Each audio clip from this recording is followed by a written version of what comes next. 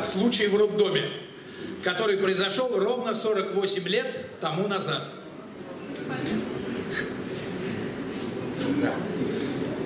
Значит, не успел еще продрать глаза, когда трехкилограммовым плодом я услышал где-то чьи-то голоса и пополз на выход задним ходом.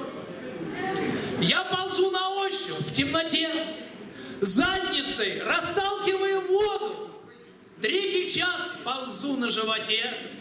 Я по скользкому и узкому проходу. Я ползу на запах сигарет.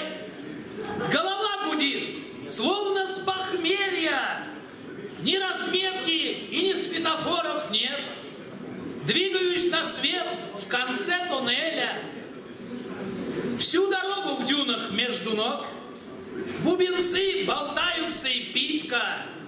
С меня начал сыпаться песок, и пропала на лице улыбка. Вытворял такие чудеса, что не головой, а голым задом. Я на свет вылазил три часа и на всех врачей ругался матом. Началась мышиная возня, Сродни добычи жемчуга, кто в теме, Добыли пальцем согнутым меня, С прямого я соскальзывал все время, Отрезали связующую нить, Лицо помыли в том же, в чем и ноги. И я спросил, когда начнут кормить. Неловко как-то, человек с дороги.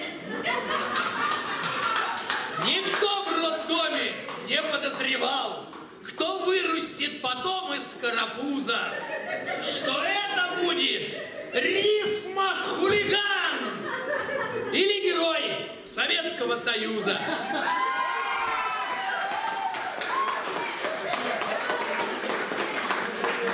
Палату, как полено волокли, как дичь на блюдо кинули в кроватку, и так щекотно номер нанесли, карандашом химическим на пятку, лежал и думал, письку теребя, еще не получая наслаждения.